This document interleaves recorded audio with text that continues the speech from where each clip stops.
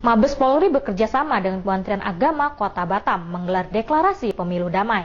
Deklarasi tersebut bertujuan untuk mengembangkan dan menumbuhkan rasa persaudaraan dalam menjalankan pemilihan legislatif dan Pilpres 2019 mendatang. Deklarasi pemilu damai ini dilaksanakan di kantor Hang FM Batam Center yang langsung dihadiri oleh Wadir Kemenak Mabes Polri serta Kemenak Kota Batam. Selain itu, deklarasi ini juga dihadiri oleh para ulama, komunitas, dan yayasan pendidikan Islam.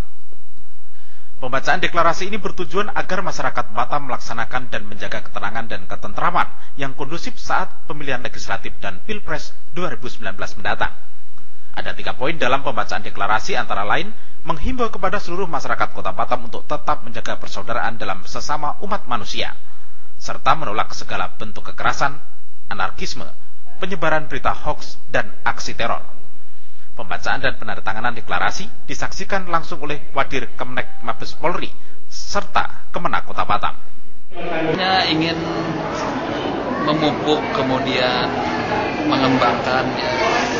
kemudian selain menumbuhkan juga untuk perasa uh, persaudaraan kita kemudian juga antara alim ulama umaro ya pemerintah dan ustadz ini dan termasuk dengan masyarakatnya untuk menciptakan mewujudkan situasi kamtipmas yang kondusif. Kepala Kantor Kementerian Agama Kota Batam sangat mengapresiasi Polri yang telah menyelenggarakan deklarasi pemilu damai ini. Kegiatan ini adalah hal yang positif menyongsong tahun politik. Diharapkan masyarakat tidak terpengaruh dengan berita hoax dan mengisi hak suaranya. Ini berarti saya ingin mengucapkan terima kasih kepada Mabes Polri yang telah acara ini dan difasilitasi oleh Radio Han dihadir oleh kawan-kawan dari beberapa yayasan terkait yang tadi sudah kita uh, laksanakan dan ini satu hal yang positif menurut saya apalagi kita dalam menyongsong tahun politik ya.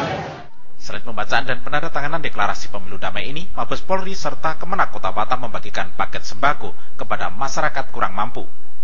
Gusti Yunusa iNews melaporkan.